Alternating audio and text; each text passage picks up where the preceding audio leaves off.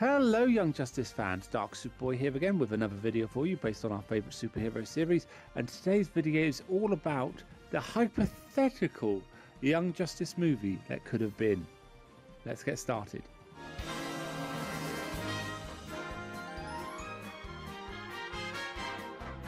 Okay, first things first, in more recent news for Young Justice fans, it's my unfortunate duty to report that Greg Weisman, creator of Young Justice, is having an issue with his Twitter account.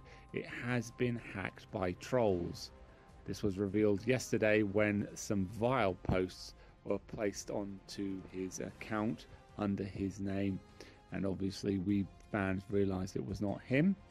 Greg was able to wrestle control back after about 24 hours of this Git being in charge, but it seems now today that the troll has taken back the account. So let's just hope that Greg gets control of this and that it, he doesn't decide to cancel his account over it because he does do a lot of communication with the fandom and continues to give us tidbits and little Easter eggs about Young Justice to this day.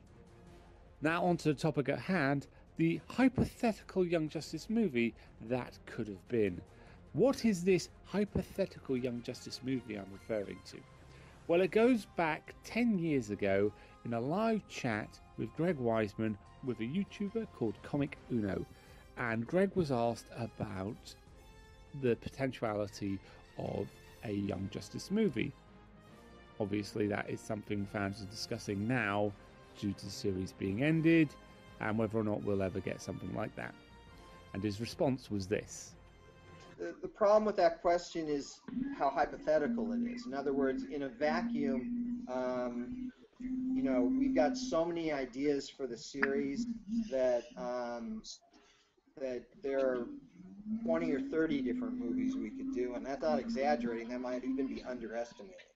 Um, the question then becomes when if you're not in a vacuum, what are the parameters of the project? You know, if if if DC, I mean, I'm making this up. It's not like we've had these discussions. But for example, if Warner Brothers and DC said, "Look, the only way we can sell this movie is if Batman has a huge role in it," then we'd pick a story that had a big Batman presence in it. You know, if they said to us, "Look, we really want this to appeal." uh, to uh, know fans of season one. We do a story that emphasized the season one. You know, in other words, you never sort of get um, completely. Uh, you never get marching orders that are completely neutral. Um, there's always something that the DVD people or Warner Brothers or DC or whatever want to pitch, DC might, and again, haven't had this conversation, I'm making this up, but DC might say, look, we've got all these new 52 direct to DVDs coming out. We want you to be able to do Young Justice, but try to pick a story that doesn't completely confuse our audience.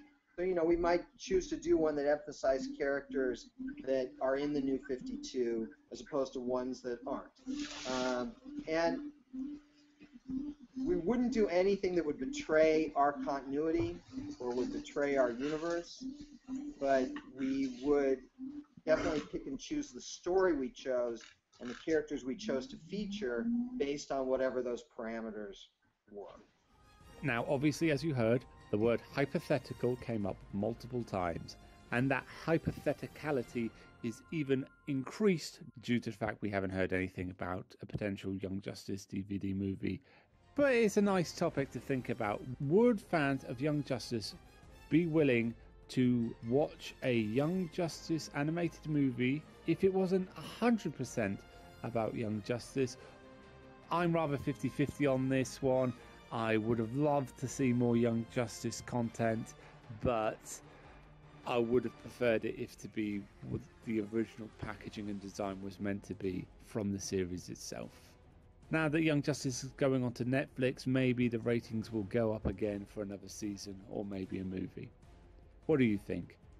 Please discuss in the comments section below. Please like, comment, and subscribe. I've been Dark Superboy. This has been a video on Young Justice. Thank you for watching, and as always, let hope burn bright. Goodbye.